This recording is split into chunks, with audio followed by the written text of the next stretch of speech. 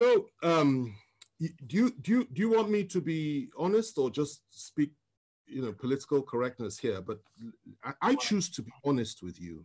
I choose to be honest with you, and um, for me to be honest with you, I have to go back a little bit. But let me start with the situation that we're facing in this country today. If you believe that those that are in power in Nigeria today would ever contemplate the possibility of giving power to an Igbo man in 2023 or thereafter, then you still haven't fully understood the challenge and the problem that we have in this country today. You need to understand that the mindset of some of these people, not all, some, but those that Buhari represents, that is his own clique within the Fulani ruling class, not all Fulanis, but his own clique, who are in power today. Their mindset is that the most dangerous people in this country and the people that they must suppress more than any other are the people of the Southeast. And you need to understand that before the Civil War, and I need to go back in history because that's a damn good question and it deserves a clear answer, a thorough answer. Let's go back a little bit. Before the Civil War, these same people, he, for example, was active then. And you need to remember the role that they played on the night of July 29th, 1966, when the Northern Officers counter coup took place. And 300 Igbo officers were killed in one night, including an Igbo head of state. He was involved. And many of them that are running this country in that cabal today were involved or it supported it. They said it was to pay back for what had happened in January 15th, 1966. Now, after that, what happened? The same people unleashed their people on Igbo civilians in the northern part of this country. And the figure that is often cited is 30,000 were killed. It's not true. Closer to 100,000. Not only were they killed, people, women had their stomachs cut open and little babies were pulled out and their heads were dashed against the wall. That is what they did then in 1966, before the Civil War. And the Igbos were slaughtered like flies all over the north by these same people. They went rushing back to the east, where they believed they were safe. And the position was this the leader of the core northern Muslims within the army, Murtala Muhammad, urged um, Gowon, who was head of state, to march on the east immediately and wipe out the Igbos. Gowon, to his credit, refused to do that and said, no, let's negotiate. And the negotiation started. They broke down, then there was a civil war. In that civil war, three million Igbos were killed by federal forces. They were killed by all of us. I'm, a, I'm, I'm from the Southwest. I take responsibility for that, as every other Nigerian ought to. Civilians, not soldiers, three million, including one million children subjected to genocide, subjected to mass murder, subjected to ethnic cleansing by us. The war ended. We did not apologize. Instead, what did we do? What did we do? We took all their property in the name of abandoned property. We gave them 20 pounds, even if they had a million in the bank. And we said, come back, no victor, no vanquished. Biggest lie from the pit of hell. There was a victor and there was a vanquished and we all know who was who. They came back into Nigeria and we reintegrated them. But even with all the reintegration, no Igbo man could be trusted to be general officer commanding GOC until Obasanjo came to power in 1999.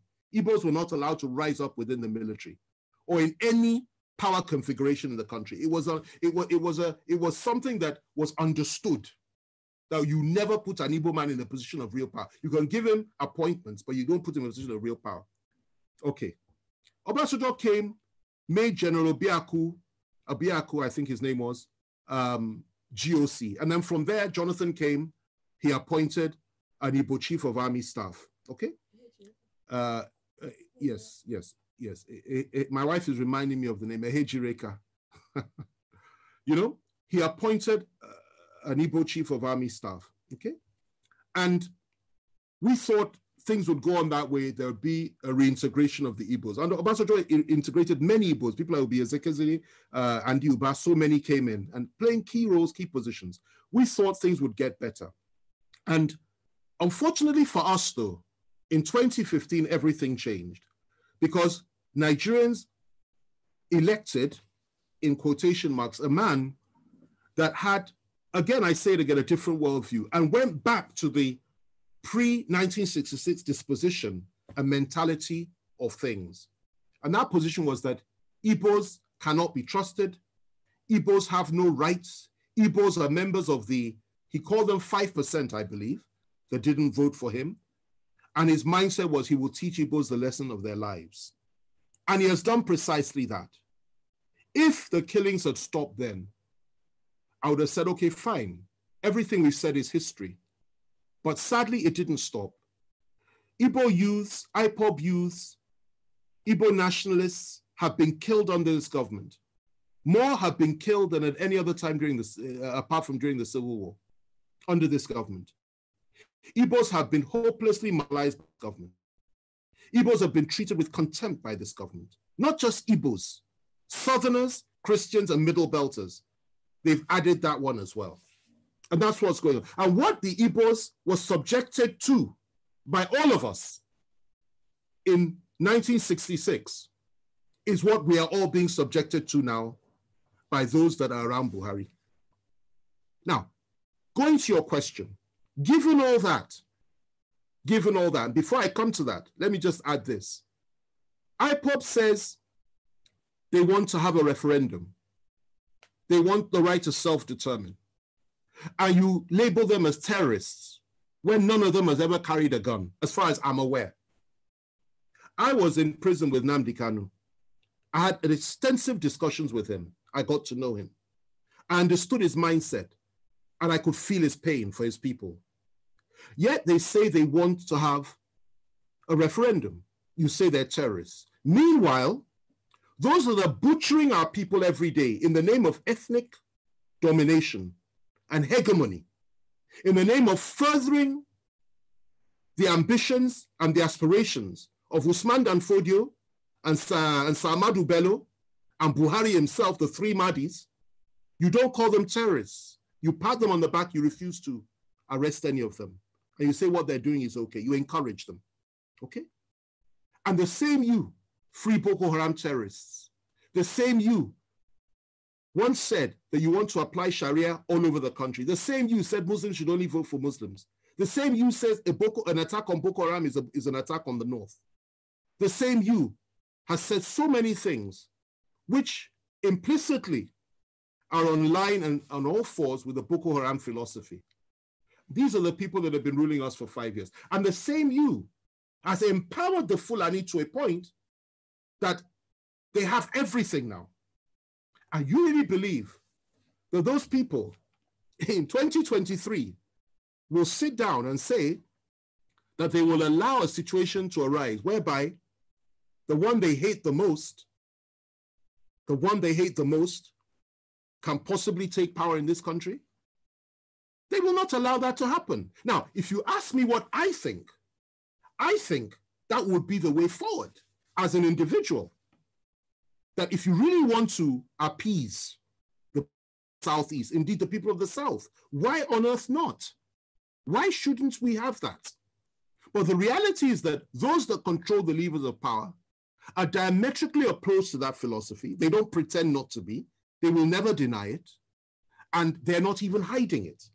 So they won't allow that to happen. What they will tell you at the very best is possibly will give vice presidency to the Southeast. And in a situation like that, if they did that, and the president, the northern president came to power, and something happened to him, I assure you they will never let an Igbo man take power. It's their mindset. Even the one that's there now, the Yoruba man that's there as VP. If anything happens to Buhari, I doubt very much they'll let him take power. The position that they have adopted is that power must remain in the north, um, you know, in perpetuity for as long as possible. And they have rationalized it over and over again. So that's the situation that we're in. But left to me, two things. The first thing is this that would go a long way to heal the wounds of the past, an apology for what we did to the Southeasterners and to the Igbos during the Civil War. Secondly, proper compensation and reparations for what we did to them. Thirdly, to now openly come forward and say, let an Igbo man be president of Nigeria. Because they've never had an elected Igbo, uh, we've never had a, an Igbo man leading us with power. Let it happen. That is what I would suggest. That's the first one. The other one is this. If it is, you know you can't do that. And if it is that the time for that has passed, because many Igbos will tell you, particularly those that share the philosophy of people like Nnamdi Kanu and even um, philosophy, they will tell you they're not interested in that anymore.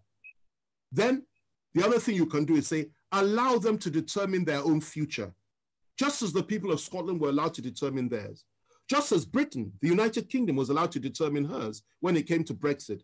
Just as so many other countries in the world, through a referendum and exercising the right of self determination. And I think that would make far more sense than to say just give them an Igbo presidency, which you and I know is not likely to happen. Let me end with this, okay? We are approaching 2023.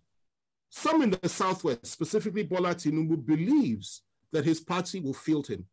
I will tell you this today. He has made the biggest mistake of his life.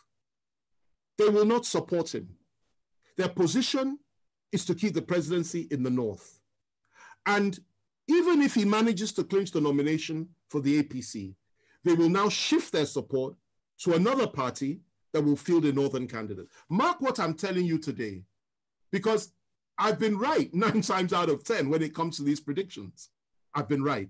And I'm telling you, I'll be, I'll be proved right again. That is the mess that we're in in this country. So your aspirations are legitimate. You have every right to have an Igbo president. It will be a good thing for this country, for the people of the East, and indeed for the people of Africa. But those that believe they own Nigeria will not allow it, they will not accept it, and they will not create a level playing field for it. And that's the reality.